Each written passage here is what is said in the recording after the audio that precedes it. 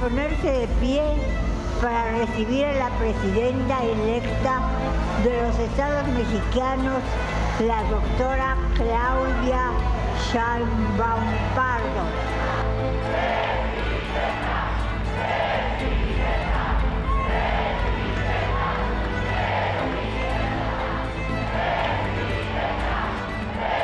Gobernaré para todos y para todas. No les voy a defraudar. La propia presidenta hizo el cálculo. 503 años tuvieron que pasar para que por primera vez una mujer llegara a conducir los destinos de la nación. Ella dijo llegamos y apuntaló el tiempo verbal. Llegamos porque no llego sola, aclaró. Llegamos todas. Día de fiesta en San Lázaro, día de la presidenta, día de un Congreso de la Unión que se puso mayormente a sus pies, salvo por la minoría política que no aplaudió y las bancadas panistas que vistieron de negro. Pero el Palacio Legislativo estuvo más cerca de la ebullición que de la anemia, o el luto.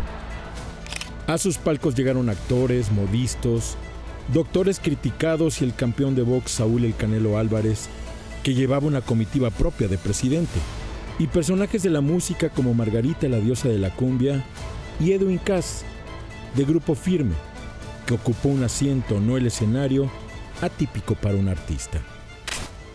Por la escalinata principal entraron los invitados especiales de alto nivel como los presidentes de Guatemala, Brasil, Colombia, Cuba, la señora Jill Biden, esposa del presidente de Estados Unidos, y fuera de lista, pero también invitados por Realidad Nacional, un puñado de trabajadores del Poder Judicial que lograron meter hasta el vestíbulo del salón su protesta por la reforma aprobada.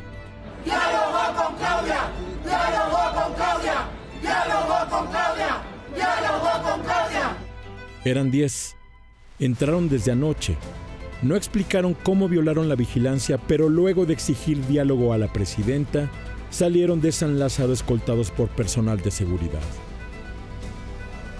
25 minutos después de las 11, ataviada en un vestido oaxaqueño de color marfil, Claudia Sheinbaum llegaba a ofrecer su mensaje inaugural. El grito de presidenta, presidenta la recibió en las escalinatas y la acompañó por todo el pasillo central del salón de plenos, donde le salieron al paso decenas y decenas de celulares inquietos que buscaban atrapar cualquier imagen.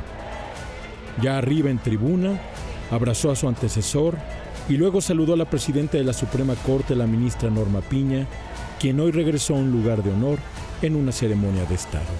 El gesto fue captado por una cámara de imagen noticias, porque la transmisión oficial, por descuido o instrucción, no registró el momento. Entonces vino el momento de ceder la banda del primer piso de la transformación a Ifigenia Martínez, legisladora decana de 94 años de edad que no pudo con el esfuerzo físico que implicaba recibirla y entregarla. Híjole, apenas me sostengo, ¿viste? Sheinbaum la tomó y prácticamente se la colocó sola. El simbólico protocolo quedó trunco, pero nada que afectara la ceremonia. Luego llegó el mensaje de los símbolos. La presidenta atendió prácticamente todos. Sendos reconocimientos al patriarca del movimiento, Andrés Manuel López Obrador, a quien llamó a un presidente cuando ella ya portaba la banda tricolor, un error que luego corrigió.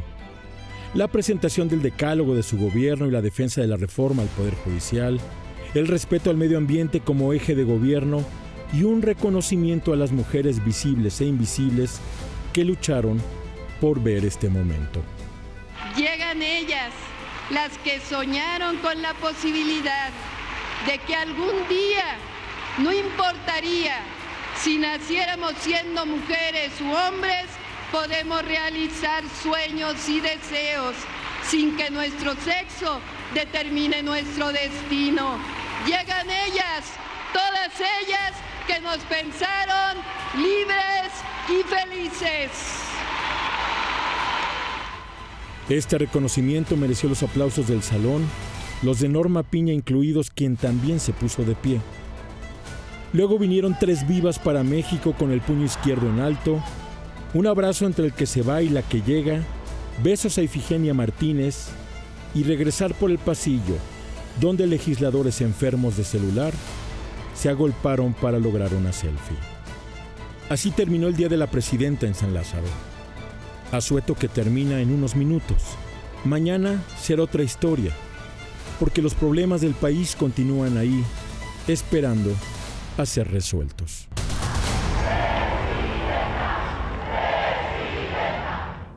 Y ahí, trabaja, ahí terminaba el primero de los, digamos así, dos momentos grandes de este martes primero de octubre. Pero antes de seguir, vamos a ver esta imagen. Cuando la presidenta Claudia Sheinbaum subió a la tribuna del Congreso, saludó de mano a todos los asistentes, también, como veíamos, a la presidenta de la Suprema Corte, Norma Piña, pero el presidente López Obrador no la saludó, él ni se acercó a Norma Piña, Claudia Sheinbaum, sí. También estuvieron en esta ceremonia en San Lázaro eh, un número de varios empresarios, los invitados especiales. Ahí estuvo nuestro presidente ejecutivo de Grupo Empresarial Ángeles, Olegario Vázquez Aldir. Estaba también Carlos Slim, Carlos Slim Belú y Carlos Slim Domit. Estaba nuestro director de Grupo Imagen, Ernesto Rivera, vicepresidente ejecutivo de Grupo Ángeles, Altagracia Gómez, la encargada del gobierno de la relación con empresarios. Estuvo también el presidente del Consejo Coordinador Empresarial. En fin, Francisco Cervantes y empresarios de medios de comunicación. Cerca de las 12.40, una vez que asumió como presidenta y terminó la sesión general del Congreso de la Unión, Claudia Sheinbaum abandonó el Palacio Legislativo de San Lázaro. De nueva cuenta fue arropada por eh, gritos, por gente que estaba ahí alrededor, fue festejada y bueno,